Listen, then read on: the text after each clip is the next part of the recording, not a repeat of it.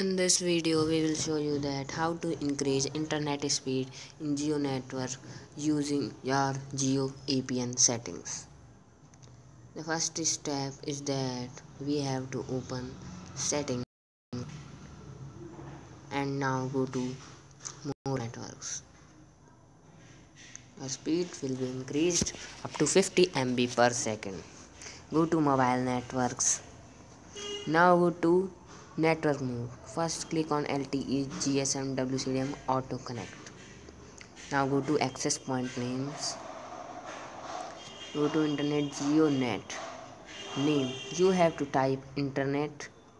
APN you have to type jionet in small letters. Proxy not set port not set username not set. You can set username as your wish server. You have to put server www.google.com www.google.com mcc 405 mcc 405 mnc 872 you do not have to do in authentication type.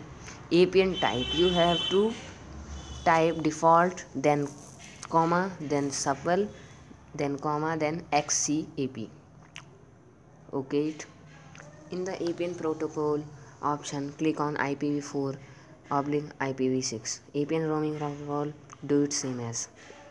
Bearer you have to choose LTE to specify your greatest speed in your Jio network. You do not have to do any now that now you have to save these settings.